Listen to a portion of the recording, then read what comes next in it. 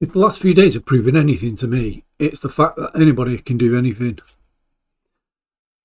Only three years ago, my son wanted a PC.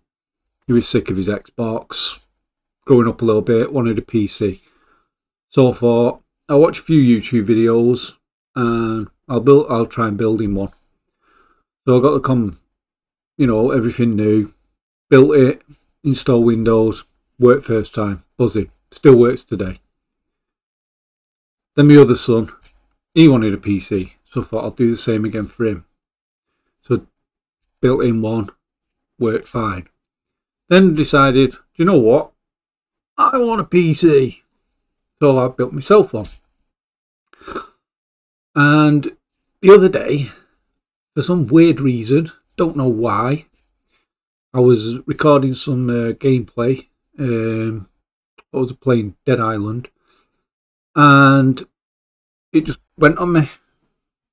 Didn't know what was wrong with it. Had no clue. So I thought, ugh. So I went through all the stages as you do. You go on YouTube, you look at videos.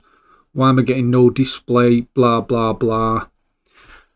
Opened it up, took all the components out piece by piece, putting one stick of RAM in, um, changing the processor to a one with a integrated graphics because uh, I own an old Ryzen 3 2200G. So bang that in with nothing but one stick of RAM, power supply, still no display. So after about four hours, five hours of messing about, which is the only thing I can call it, I came to the conclusion it's got to be the motherboard. It's got to be the motherboard because I tried every combination. I have a, I had a new graphics card in it because I don't use the PC for gaming much. Um, but I, so I only had um, a 3050 in it. Um, but I was trying to change it to a 3070. Um, and what I did was, instead I thought, you know what? I'm just going to buy a new motherboard and then I'll flip everything around, see if that, see that, see if that's the problem. Um, and it ended up just, it was the motherboard, apparently so uh, because I put a new motherboard in it, put all the bits in it, installed Windows again, uh, and she fired up beautifully. So I'm just proud of myself because I am not a PC builder.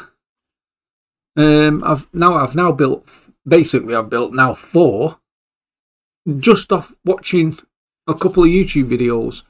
So I'm happy and proud of myself because I am a bit of a mong. Uh, so yeah, welcome back to the internet. That's what I say. Welcome back to the internet. I'm happy and pleased with myself. So yeah. So if I can do it, you can do it.